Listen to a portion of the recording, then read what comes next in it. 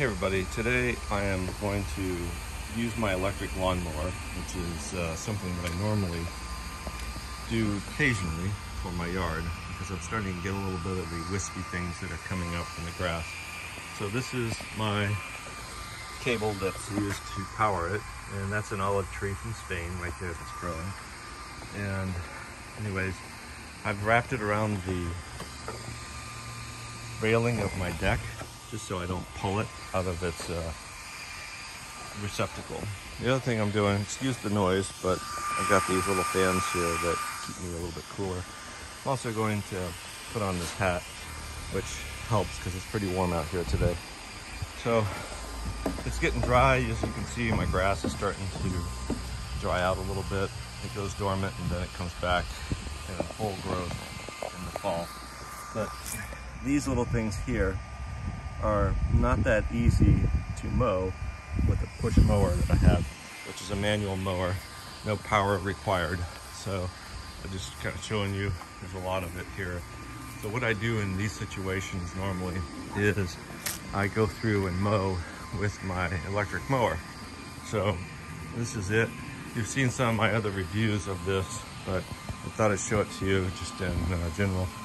Uh, this one here is a little bit different than the Kobalt mower that I had, which I found that I'm able to use this one and I do not need a grass catcher. So I paid less for it for something I don't need.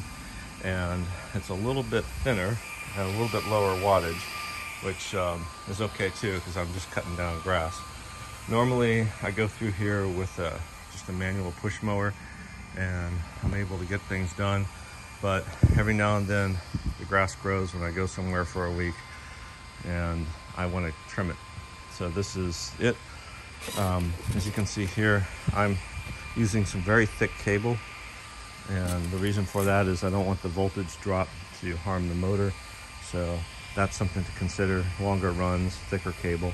This is 12 gauge. So it will fit on this management uh, item here, which is called a cable management piece you just put the cable in there and attach it. I just chose to in a knot and then I just bring it up higher so I can hold on to it to keep it out of my way. I have the mower set on the highest level so I'm cutting a small amount and allowing for the grass to protect the roots so that's just been my way of doing things I keep it high and it's worked really well over the years um, there's a side chute here you could open. Okay. I uh, have this set up as a mulching mower, so that's the way I prefer to go. Also, if you notice, there's a little thing on there. That's uh, from my pets.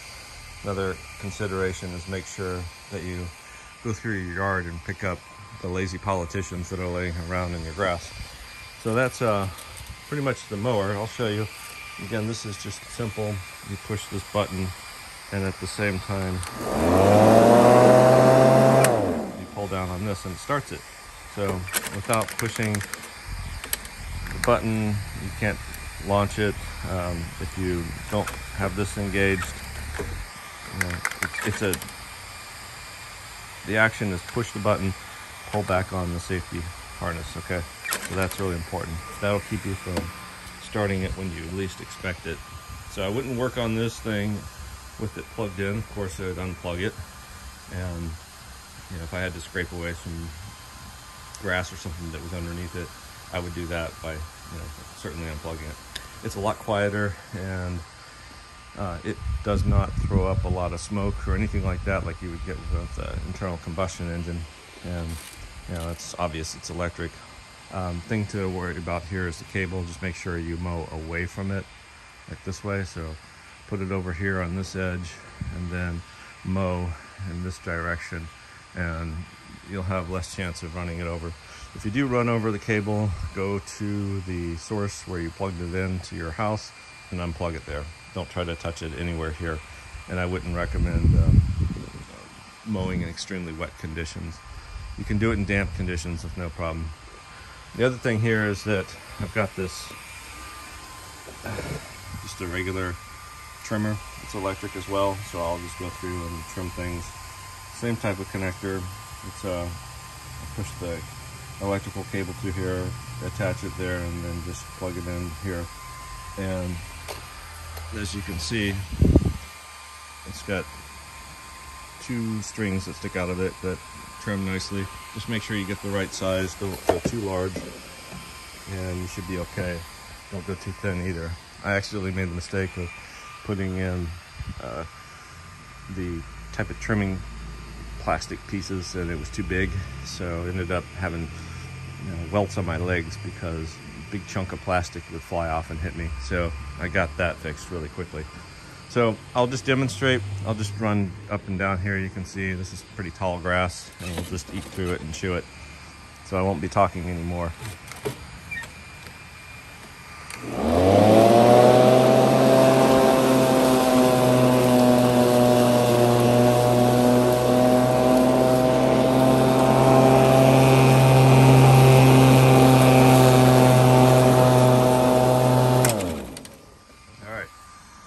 As you can see, it's done a fairly good job. I trimmed away this section right here so you can see it. There's the taller grass right there. There's the thinner grass. Let's get nice and close, up and personal. All right. There you go. Okay. The other things to watch out for. That looks like dog poop, but it's not. There's a espresso cups that uh, I just tossed the coffee over here in the morning. So quite a bit of it ends up over here.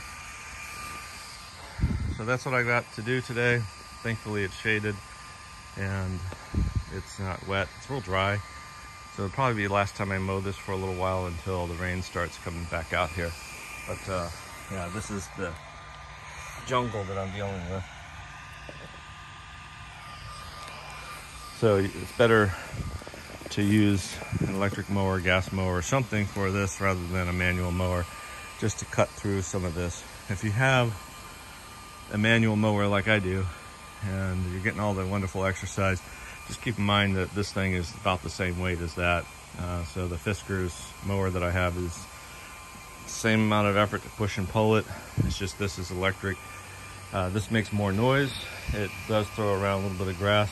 So if you're allergic, the manual mower, push mower that I have is, you know, the one made by Fiskars is really good for that.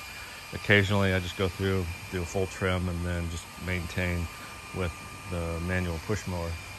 So that's it. It's a little bit. I just thought I'd show you. It works really well.